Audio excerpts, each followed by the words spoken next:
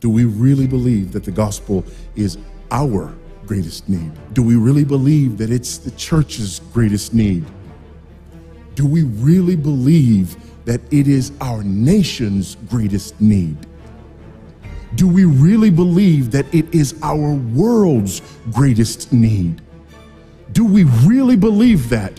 Or are we waiting for someone to ride in on a white horse who's not named Jesus? We believe this, we will manifest that belief by preaching this gospel in which we have confidence.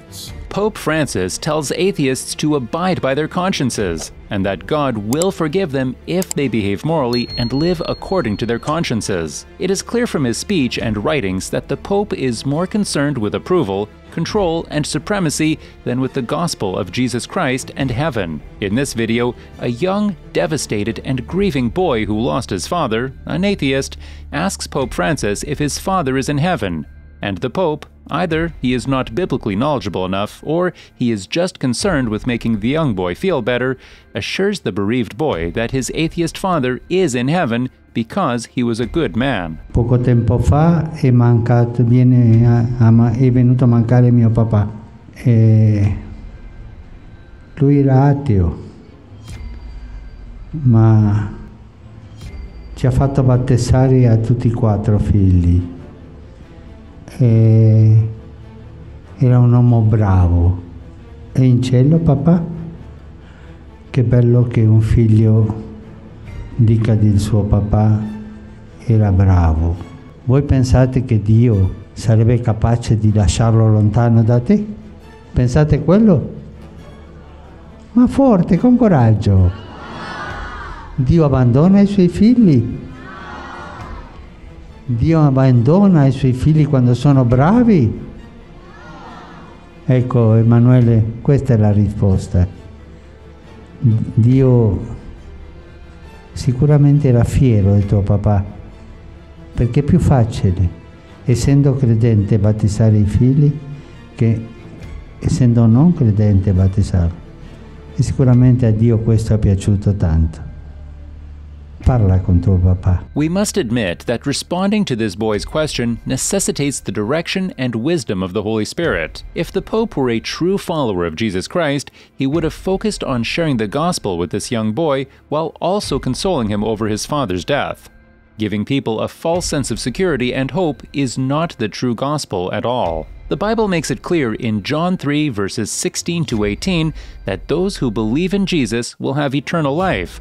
But those who did not believe will not have eternal life. For God so loved the world that he gave his only begotten Son, that whosoever believeth in him should not perish, but have everlasting life. For God sent not his Son into the world to condemn the world, but that the world through him might be saved. He that believeth on him is not condemned, but he that believeth not is condemned already, because he hath not believed in the name of the only begotten Son of God. Some Catholics contend that the Pope's remark does not represent the Catholic Church's position. That couldn't be further from the truth. In reality, the Pope is simply reiterating the Catholic Church's position, which is entrenched in the Vatican II document. Know, as a Jew, how does it feel that there are other religions that don't think you're getting into heaven? So let me ask you, what's the Catholic view on who gets into heaven and who doesn't? I feel like I lead a pretty good life, a very religiously based life in which I try to keep. So what's the Catholic view of me? Am I basically screwed here? No. The Catholic view, go back to uh, the Second Vatican Council, says it very clearly. I mean, Christ is the privileged route to salvation. I mean, God so loved the world, he gave his only Son that we might find eternal life. So that's the, the privileged route. However, Vatican II clearly teaches that someone outside the explicit Christian faith can be saved. Now, they're saved through the grace of Christ, indirectly received. So, I mean, the grace is coming from Christ, but it might be received according to your uh, conscience. So, if you're following your conscience sincerely, or in your case, you're following the commandments of the law sincerely, yeah, you can be saved. Now, that doesn't conduce to a complete relativism. I, we still would say the privileged route and, and the, the route that God has, has offered to humanity is, is the route of His Son. But no, you can be saved. Uh, even Vatican II says that an atheist of goodwill can be saved. An atheist of goodwill can be saved. An atheist of goodwill can be saved. That when I follow my conscience, I'm following Him, whether I know it explicitly or not. So even the atheist, Vatican II teaches, of goodwill can be saved. Sadly, the Catholic Church has placed a greater emphasis on ecumenism, that is, bringing all global religions under her authority and control, and less emphasis on spreading the gospel with people who do not have a personal relationship with Jesus Christ. Furthermore, the Catholic Church, led by Pope Francis, teaches that all religions lead to the same God. This is so harmful and satanic because it provides those in darkness a false sense of security and denies them the opportunity to know the true God who can redeem them from their sins and shower them with unconditional love that no false gods can. See the link in the description or at the end screen near the end of this video to learn more about the Catholic Church's false teaching on this topic. If you're new to our channel, please subscribe and enable the bell symbol to be notified when we release new videos, which we do weekly. Assist us in getting the end time message to the lost and dying world. Simply watch our videos till the end, then like, share, and comment. Thanks for your support. Our entire discussion has one purpose, and that is to make sure that we understand that people caught up in the Roman system are not saved Christians. They are lost people on their way to eternal hell. We have to continue to evangelize them. We cannot be deceived, we cannot be fooled as if they belong to Christ when in fact they do not. We cannot reach a point now where we redesignate people in the Roman Catholic Church as believers in Christ, or we will cut them off from the necessary exposure to the true gospel, which alone can bring them salvation. Genuine and discerning believers through all the history of the church and today understand the false priesthood. True believers understand the horrific exaltation of Mary above Christ and even above God. They understand this twisted sacrament of the Mass which uh, attempts to re sacrifice Christ. True Christians understand the false forgiveness of the confessionals, the money motives behind the invention of purgatory as a way to raise money. Uh, people giving money to the church to buy uh, their dead relatives out of this imaginary place called purgatory. The true church has always understood the disastrous harm of indulgences, buying your own way out of purgatory by giving money to the system, the abomination of the worship of idols and relics, prayers for the dead the perversion of forced celibacy. All of these things have been very clearly heresies, and the true church has always understood it. And at the top of the pile, the true church has always understood the Pope as a usurper of the headship of Christ over his church. Giving false hope to atheists, agnostics, and other non believers is utterly evil. Jesus reprimanded the zealous and hypocritical religious leaders of his day for being a hindrance to those seeking to enter the kingdom of heaven. But woe unto you, scribes and Pharisees, hypocrites, for ye shut up the kingdom of heaven against men.